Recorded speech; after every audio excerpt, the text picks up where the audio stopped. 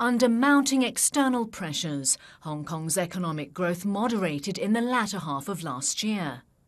Financial Secretary Paul Chan made the statement in his 2019-20 budget speech, saying Hong Kong's economy grew 3% in 2018, higher than the trend growth rate of 2.8% over the past decade.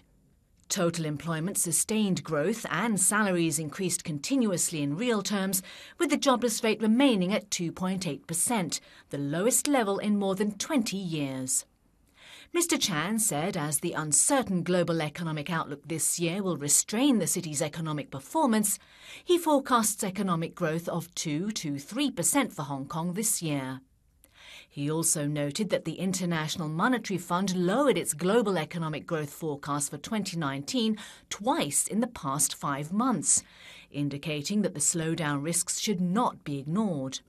With inflation to remain moderate this year, Mr. Chan expects headline inflation and underlying inflation for 2019 to be at 2.5%. For the medium term, he has forecast an average growth rate of 3% per year in real terms from 2020 to 2023, slightly higher than the trend growth rate of 2.8% over the past decade.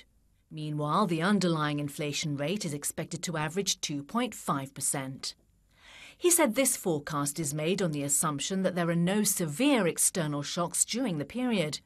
But the external environment is still impeded by headwinds, and if these persist in 2020 or beyond, or even aggravate, global economic growth will be hindered, and Hong Kong's economy will in turn be affected. He cautioned that Hong Kong has to stay vigilant.